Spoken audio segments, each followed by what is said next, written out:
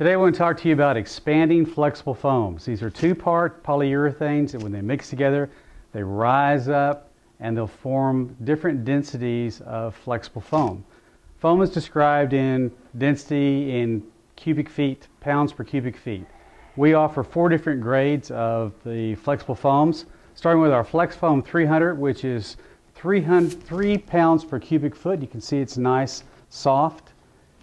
Our Flex Foam 600, which is a little more dense.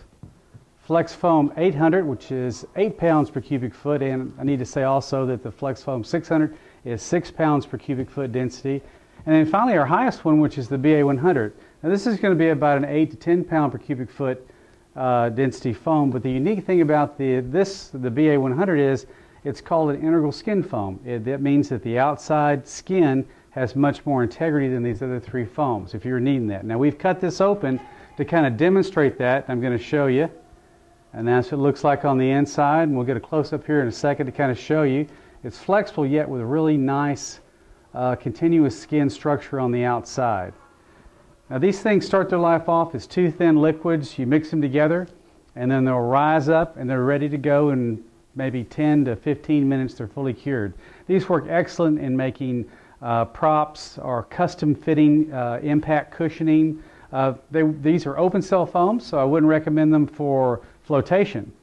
But uh, we do have some coatings that can be put on ancillary to make these uh, somewhat waterproof, but they are open cell. And we're going to show you how to mix some of these things up and how they work out. We want to demonstrate how to mix up these flexible foams. As I mentioned earlier, they come in two distinct entities, part A and part B. And they're going to be mixed one to one by weight or volume. You're going to have to read the label to see which way they're mixed because they're not all the same. The A component doesn't need any premixing, but you do need to stabilize these things room temperature to get the best foam possible. If the liquids are too hot, it's going to give you a foam that's off spec, or if they're too cold, it's going to give you a foam that's too dense, okay? Again, too hot, it's going to be too light a foam. Also, there's something called free rise and compressive density. Free rise is if you put it into a mold and you don't do anything to compress the foam, it rises up, and that's how we normally quote the densities to you. However, you can artificially drive the density up by putting a little bit more resin into a mold and then putting a board or something on top to compress the mold, uh, the foam, so it'll drive the density up. This actually improves the integrity of the outside skin on the lighter foams. Today we're going to do our Flex Foam 300 and we're going to measure out, this one's equal by volume, one to one. Into a clean bucket, we've already measured uh, one part of the component B. But before we did that, we stirred the component B with a flat spatula, not a square spatula, but a flat spatula. Doesn't take very much because the B component will separate over time.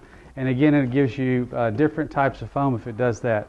The B, or the A material needs no premixing, but again, these need to be stabilized to, say, around room temperature 72 degrees.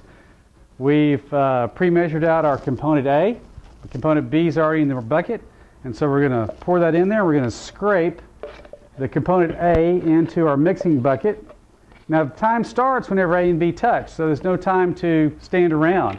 So we want to go ahead and mix that. Go around the outside with my flat spatula and mix it, and I can look in the pail and I can see swirls of unmixed material, and it doesn't take very long to get them together. And I have a clean bucket that we're going to use for a demonstration mold. Use a little silicone spray don't flood it, just a little bit. And I'm going to pour this into my mold.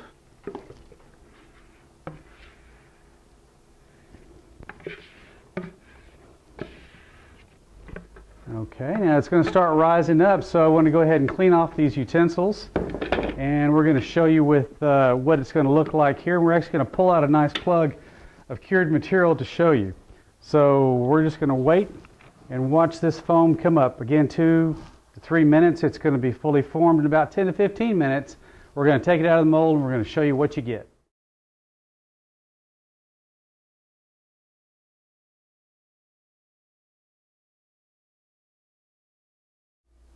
As I mentioned earlier, we have different types of foam. One of the foams that is very popular is a integral skin or self-skinning foam. Our BA100 kind of fits that bill. This is a small uh, beaker sample that we've cut in half to kind of show you uh, what you get with that nice uh, skin formation. And as another example, this is what one of our customers has molded out of it. This is a child seat. It's a safety seat. And as you can see, it was poured, has a very nice skin, yet it's soft and ergonomic for children. So what we've done is we've going to show you how to mix this up.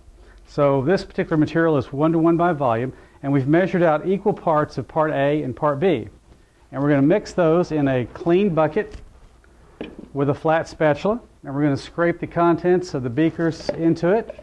Now, you need to be fairly close on your ratios. If it says by weight, do it by weight. If it says by volume, do it by volume.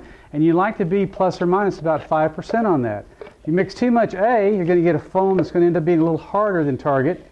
Too much B, you're going to end up foam that may be a little softer and stickier than target. So you want to stay with it. Also, for small volumes, spatulas are fine, but for larger volumes, you'd like to use a uh, electric drill and a Jiffy mixer. If you don't know what a Jiffy mixer is, you can go to our website. We're going to show you what that is. And we'll take a uh, clean bucket, a little spray release, because we're going to show you a demonstration mold. Pour our mixed ingredients in there.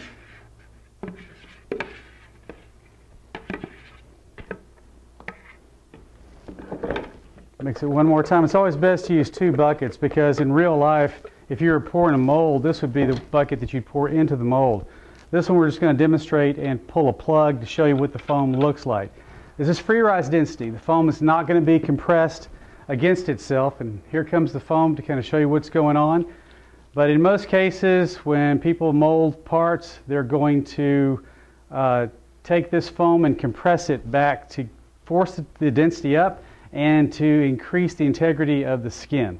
So this has come up, it's fairly fast, and it's just about risen to its maximum free rise density again. But we just want to show you for effect of what the foam does. The neat thing about it is it contours, molds around it, and allows you to take shapes and to make flexible objects at them that are can be used actually for production items. So we're going to take it out of the mold. We've put a little release in there. We're going to work it around the edges and then start tugging on it. And it looks like it's trying to come out. And there it is.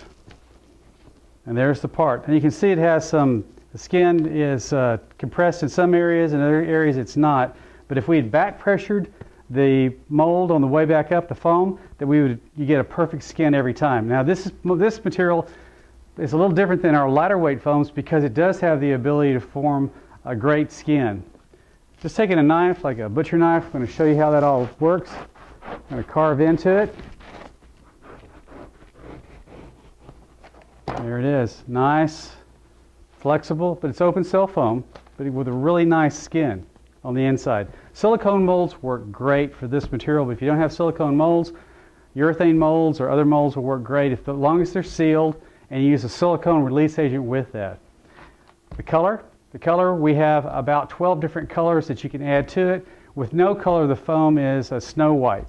But uh, we've added a, just a simple orange pigment to this at about 2% of the total weight of the material. And you can see it gives a, a real vibrant color. Okay, you can see the compressibility of these foams. This is our Flex Foam 300. Very compressible, very lightweight. And our heaviest foam, the BA100, integral skin foam. And we also have foams that are in between. The Flex Foam 600 and the Flex Foam 800. So it kind of walks up in density. And these are some great products from Industrial Polymers. And for more information, I want you to visit the website and you can download all the data sheets on these.